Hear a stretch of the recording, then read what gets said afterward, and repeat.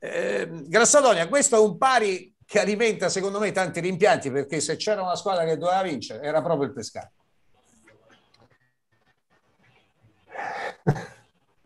Sì, eh, è così, però eh, purtroppo è andata così. Eh, mi piace sempre guardare il bicchiere mezzo pieno e quindi dobbiamo rituffarci in una settimana di lavoro. Per noi è sempre fondamentale recuperare le energie, soprattutto fisiche, e ripartire alla grande, con grande determinazione, con grande forza. Mister, Mister buonasera eh... Luigi Di Marzio, il centro, salve. Eh, la sensazione che dà adesso la, la sua squadra, che in questa partita l'emblema, forse i due giocatori, non solo uno, che il Pescara sta pian piano rinascendo, sono proprio Capone e Sorensen, che a mio avviso Sorensen è stato, se non il migliore, uno dei migliori in campo, e Capone è in fase di crescita eh, esponenziale. Questa squadra finalmente inizia a crederci, cioè non si disunisce, non si abbatte, sembra un Pescara totalmente diverso, finalmente, anche se un po' troppo tardi, si è acceso secondo lei questo qualcosa ah, insomma dico, nella sua come, squadra? Come dico sempre, per me è sempre stata una squadra accesa, a parte il primo tempo con l'Ascoli e in assoluto la partita di Vicenza dove non ci siamo presentati, poi la squadra ha sempre avuto la sua fisionomia. È chiaro che, come dicevo la settimana scorsa, le vittorie ti aiutano mentalmente, ti aiutano in autostima, in convinzione. E non è tardi, mancano sei partite, la squadra ci crede, lo sta dimostrando, deve continuare a lavorare perché mettiamo ancora in tante ore, tante situazioni dove la squadra può migliorare, molte letture, ma abbiamo bisogno di lavorare per, per ottimizzare il tutto e quindi, ripeto, da domani ci rituffiamo nel lavoro e, e assolutamente vi posso garantire che ci crediamo fortemente. Non ho sentito la sua risposta prima, meritava la vittoria il Pescara secondo lei oggi, mister? Ma la squadra per quanto creato meritava la vittoria, però purtroppo eh, siamo sempre penalizzati da queste palle inattive. E loro alla fine hanno creato la palla sempre sul calcio d'angolo per chiuderla. E quindi il mio rammarico è soprattutto quello perché manchiamo in alcune letture, manchiamo nella comunicazione, nella vocalizzazione e il particolare fa la differenza, noi su questo manchiamo, dobbiamo assolutamente crescere, migliorare, essere attenti eh, perché anche sul primo gol che abbiamo subito ci sono state delle mancanze gravi, molto gravi, perché dovevamo fare altro. E bisogna stare attenti, soprattutto chi subentra, chi, chi magari pensa di non giocare. Oggi ha esordito Fernandez, e, e Vokic eh, è entrato e quindi, come dicevo sempre, il gruppo diventa fondamentale. Oggi ancora di più che siamo in grave emergenza. I ragazzi devono fuori molto di più. E quando parlo di ragazzi parlo prima di tutto di me stesso, quindi fare di più, lavorare. Mister, buon pomeriggio Costantini TV6, penso lei si riferisca anche a Fernandez, a quell'intervento falloso proprio sull'ultima azione che poteva compromettere la, la partita. Però le chiedo, eh, ottime gare con Pisa e con il Monza, ma sempre gol subiti da calci d'angolo. Questa è una, eh, è una di quelle piaghe su cui dovete, immagino, ancora lavorare perché poi si compromettono partite ben giocate. Poi come sta Galano?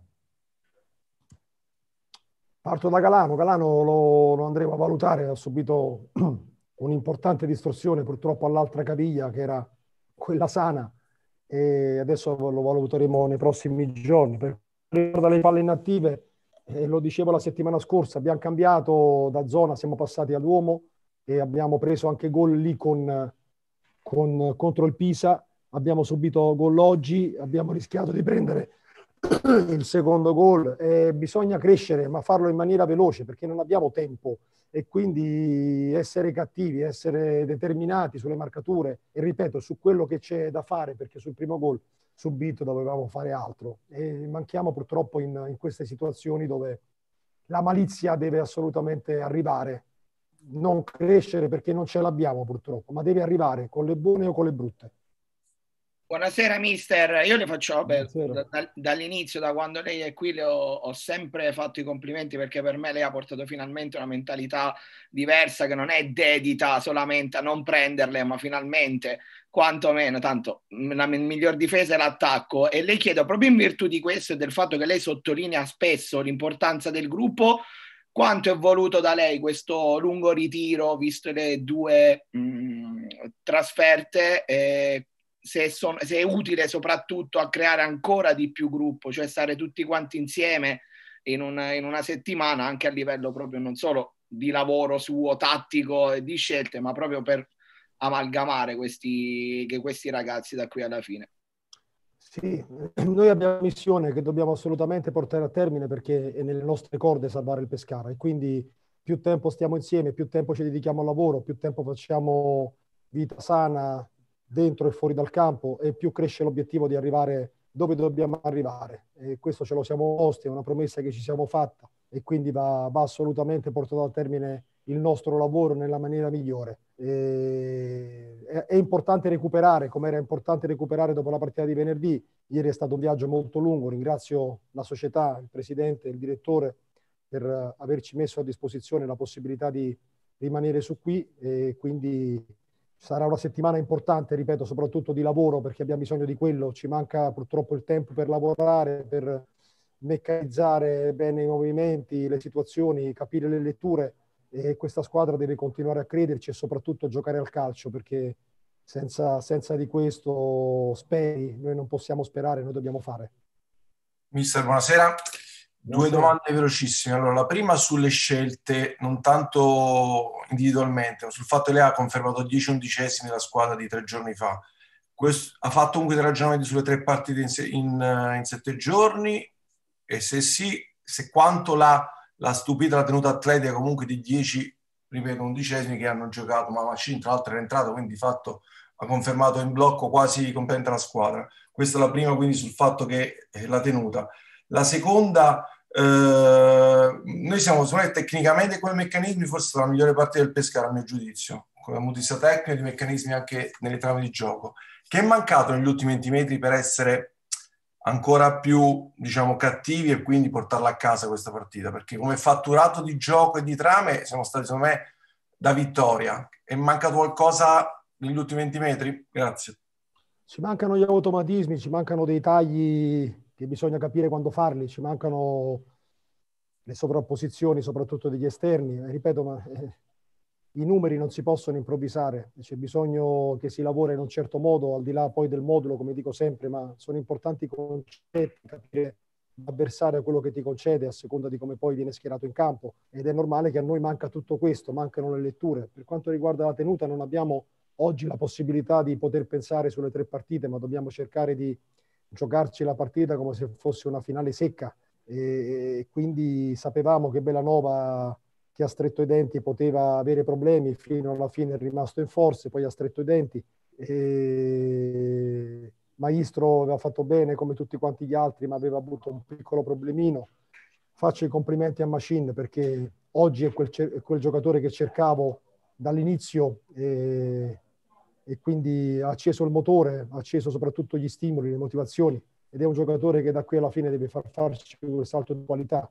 E quindi dispiace non averla vinta perché alla fine se avessimo avuto maggiore convinzione, maggiore cattiveria, l'episodio dovevamo portarlo dalla nostra parte perché abbiamo avuto qualche occasione per far male. Però ripeto, guardo il bicchiere mezzo pieno, la classifica non mi piace, è comunque brutta, ma mi lascia ben sperare il carattere dei ragazzi.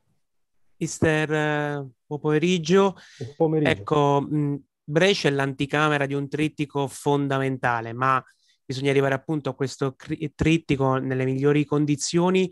Ecco, volevo chiederle appunto alla fine di questo ritiro cosa si aspetta di trovare dal punto di vista della squadra, non del gruppo, e poi cosa è cambiato rispetto a quella sciagurata partita di Vicenza.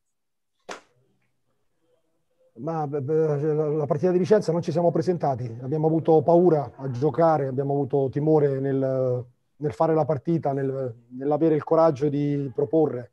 Eh, abbiamo subito troppo, è una squadra spenta.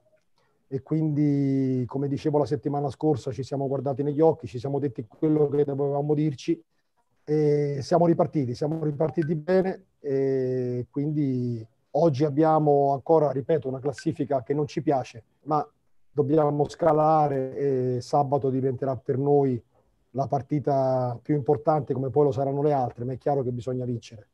Un'ultima cosa, mister, le volevo chiedere, eh, chiaramente grande rimpianto, anche Rabbia si evince le sue parole perché in occasione del primo gol lei eh, presumo che abbia detto fino alla noia alla squadra che Frattesi in quelle situazioni eh, taglia deciso sul primo palo, quindi la posso comprendere. Poi le volevo chiedere quanto sta incidendo la condizione atletica, secondo me tanto perché adesso la squadra ha un'altra gamba. Ma eh, eh, tanto noi lavoriamo su ritmi altissimi e quindi è normale che all'inizio la squadra ha pagato un po' questo. Eh, lavoriamo senza sosta, lavoriamo a ritmi altissimi e oggi la squadra sta venendo fuori, sta rispondendo. Ripeto, la vittoria di, di, di, di Pisa ci ha dato grande convinzione, grande autostima, ci fa credere in quello che facciamo ancora di più. E sabato abbiamo, ripeto, un'altra partita per noi molto importante. E su Frattesi che taglia in quel modo, lei sicuramente avrà Quante volte l'ha detto? Andiamo avanti. Andiamo avanti. Buona Pasquetta a tutti. Arrivederci. Grazie. Arrivederci. Grazie a voi.